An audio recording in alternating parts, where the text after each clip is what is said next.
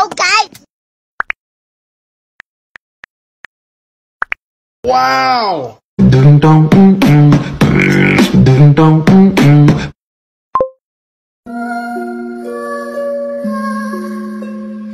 Ding dong, mm